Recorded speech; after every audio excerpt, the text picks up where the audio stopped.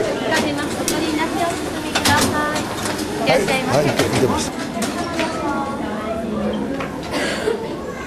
の中で触ってみてください。なってしまいます水の中で優しく触ってあげてください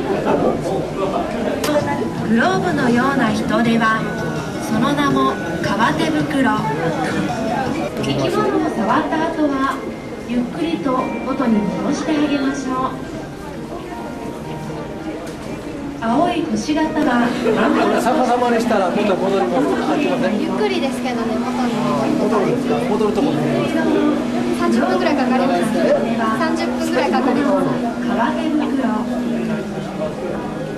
分も見てられない。生き物は砂に埋めたり重ねないようにしましょう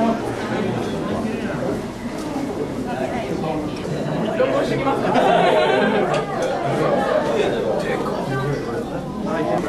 きね。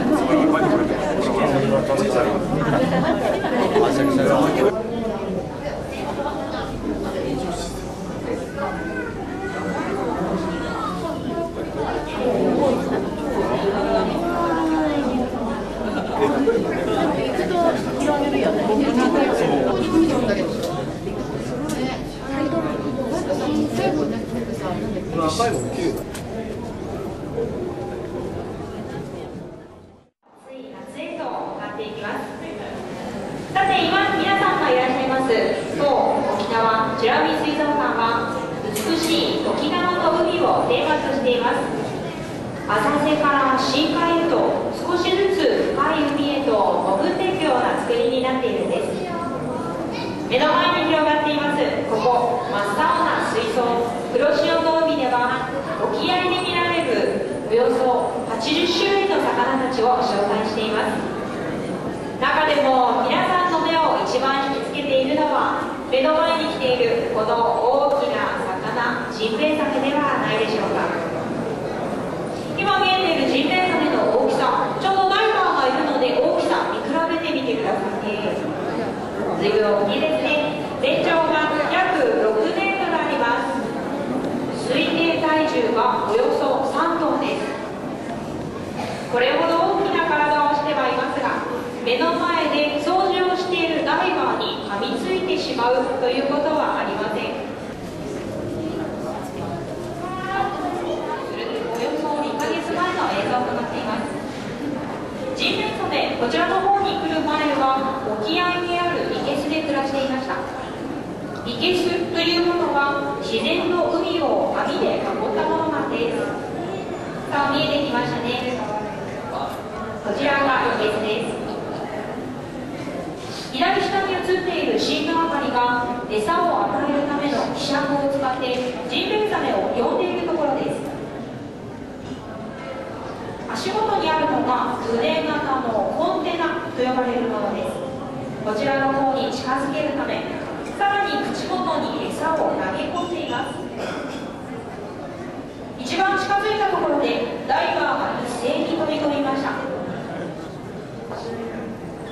大きな体を取り囲んでこのコンテナの中へとうまく誘導していきます。先ほどもお話しした通りジンベエザメは人間を襲うことはありません。ただ大きな体をしているのでコンテナの間に挟まってしまえば人間の方が大怪我をしますよね。そういったことがないように作業は慎重に行っていきます。造船所で作っていただいたこのコンテナの長さは9メートル。このジンベエザメの大きさは6.6メートルです。すっぽり入ってしまうほどの大きさ。さあやっと入ったところです。ところが広い生けすに比べるとジンベエザメにとってちょっと狭くしかも慣れないようで驚いてしまったようですね。大きな尾びれを左右に振っています。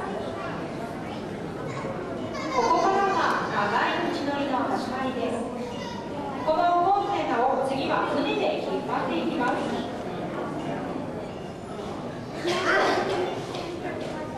運んでいる間もジンベエザメに異常が現れないか飼育係取って観察を続けます。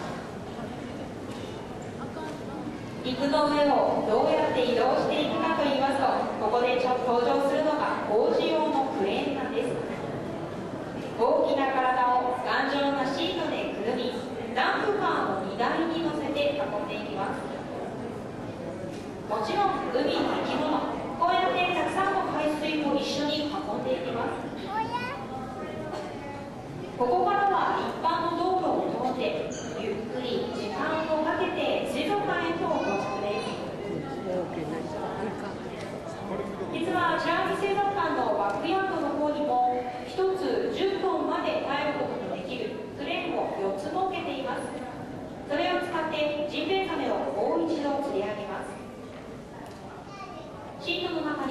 さんの海水も一緒に入れていますのでパンパンに張ってますね。長い道のりもいよいよ終わりに近づいて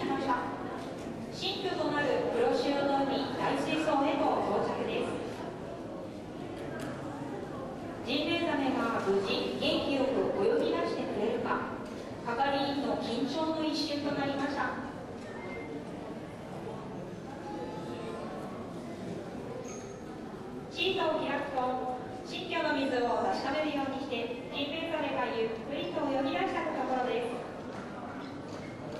スタッフ一同腕をなで下ろした瞬間でした。